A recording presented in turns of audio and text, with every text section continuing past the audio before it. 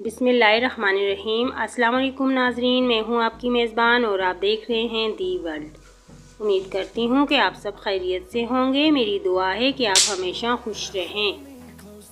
आज मैं आपको ड्रामा सीरियल तेरे मेरे सपने में आने वाले नफीस के बारे में बताऊँगी। असल में ये कौन है और क्या करते हैं? ये मैरिड हैं या अनमेरिड? ये सब जानने के लिए वीडियो को एंड तक ज़रूर देखिएगा। वीडियो को शुरू करने से पहले आप सबसे रिक्वेस्ट है कि प्लीज़ मेरे चैनल को सब्सक्राइब करें लाइक करें और शेयर करें। और साथ ही साथ घंटी वाले बटन को प्रेस कर दीजिएगा ताकि मेरी आने वाली वीडियो आपको बासानी मिल सकें। क्योंकि आप हैं तो हम हैं। तो चले आए नाजरीन, वीडियो को शुरू करते हैं। हम बात कर रहे थे ड्रामा सीरियल तेरे मेरे सपने में आने वाले नफीस की। इनका असल नाम साकिब समीर है। ये 17 अक्टूबर 1985 को भावलपुर में पैदा हुए। इनकी एज 39 इयर्स है। इनकी नेशनलिटी पाकिस्तानी है और मज़हब इस्लाम है।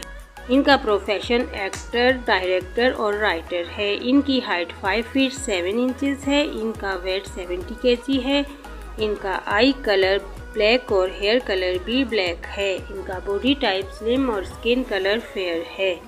इनकी हॉबीज़ में ट्रैवलिंग शामिल है। इनका फेवरेट कलर ब्लू है, इनका फेवरेट प्लेस पाकिस्तान है।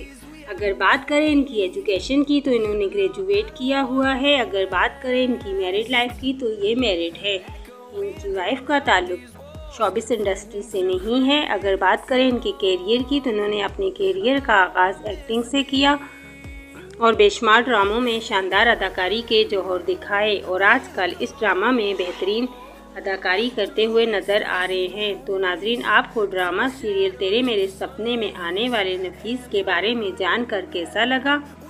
कमेंट बॉक्स में इसका इजहार ज़रूर कीजिएगा। और अपनी मेज़बान को इजाज़त दें। जाते जाते हमेशा की तरह आपके लिए खूबसूरत सा शेर अर्ज़ करती हूँ। रबते हद से बढ़ जाएँ तो गम मिलते हैं। रबते हद से बढ़ जाएँ तो गम मिलते हैं।